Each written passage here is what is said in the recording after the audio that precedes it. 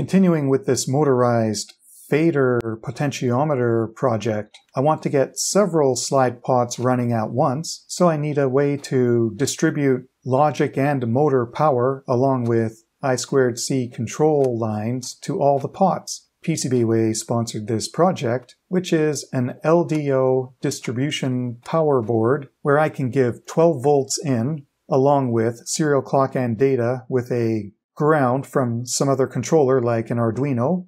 Then with these six onboard adjustable voltage regulators, I have one of them configured to give 5 volts out on this header here, along with serial clock and data and ground, and that will go to one of the fader pots. And each fader pot has a duplicate header like this, so I can daisy chain from the first pot over to the next one and so on to just provide this same 5 volt and I squared C bus to all the pots but the motor that drives these fade pots can have a starting current up to 800 milliamps. And these LDOs can do 1 amp of current. So I figure if I want to run all of those pots simultaneously, they're all going to need their own independent voltage regulator. So I have five LDOs here set to give 8 volts and ground for each motor on each pot if I only want to do up to 5 slide pots. But if I want to try doing more, each LDO has two 8 volt power outputs in parallel, so I could connect up to 10 fader pots if I try using software to maybe stagger starting up one pot and it may use 800 milliamps initially. And if I measure it on the scope, maybe if I see after a couple of hundred milliseconds the current drops dramatically, maybe then I could turn on the next potentiometer. And as long as the average current on each LDO is under 1 amp, I could try to do that. But for now, I'm only using four in this experiment anyway, so I'm just going to connect one on each LDO. The voltage for those potentiometer motors can be between 6 and 11 volts. It says it's rated for 10, so I'm not sure if that's just a recommendation, but I'm setting my LDOs for 8 volts. It worked in initial prototyping, and if there's a maximum dropout voltage on these regulators of 1.3, let's say I want 2 volts minimum overhead. If I'm giving 12 volts in, the max I'd want to maybe give is 10 volts out. So I could give this 10 volt rated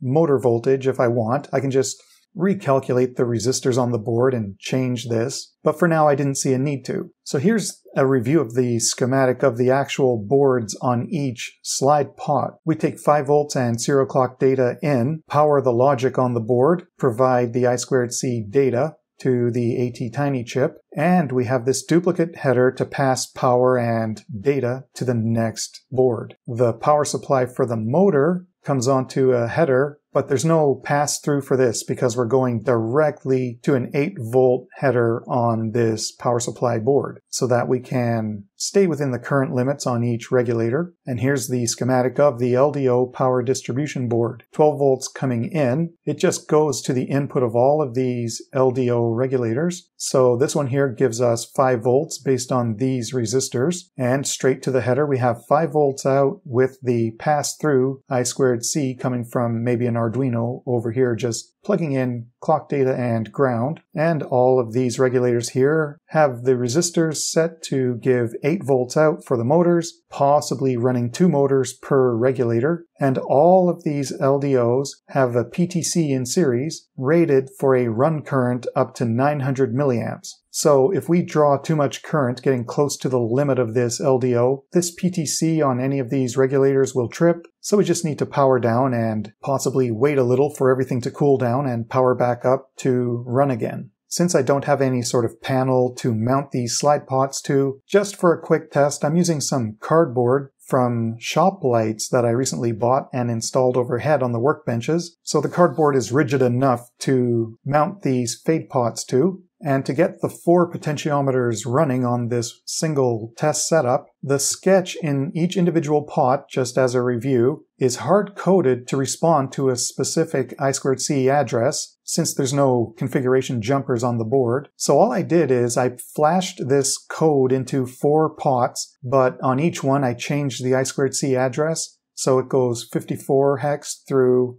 57 hex. And all this code does in each pot, it waits for a number from 0 to 100 to come in over I squared C, and it will move the position of the fader between 0% at the bottom and 100% at the top. And in the demo Arduino Uno sketch to run four pots, I took the sketch from the original project I did with one pot. I've set it up to be able to talk to the four different I2C addresses. I made four push button inputs. So as I ground each input in the main loop, it'll just detect what input, if any, were asserted, and it will move each of the four pots to a certain percentage of travel from bottom to top as written in each of these sections. So the real schematic for this project would just be the PCB on the individual pots being plugged in where needed for motor, power, and I squared C, 12 volts coming in, and an Arduino Uno with serial clock data and ground connected here. Once everything was set up and ready for test, when I ground input 2 on the Arduino, all the pots should jump up to the 100% position at the top of their range. When I trigger the next switch, they should all go to the 50% travel range, and then the other two are just arbitrary patterns. One of them is more of a diagonal pattern, starting at the bottom and going up to the 75% travel area, and the final one is just random up-down positions. So I can trigger these inputs back and forth and make the pots go at least close to the intended area. I still need to try more elaborate software to control these pots, for example, PID control, trying to get the position more exact, and I want to ultimately get more pots running at once and see if I would need maybe two of these boards in order to power everything for up to 10 pots. And I want to try using a bunch of these in projects like a mixing console, adjusting levels for individual channels, or even an EQ where I can just use one pot for each band of frequencies. Thanks to PCBWay for sponsoring this project. Thanks for watching.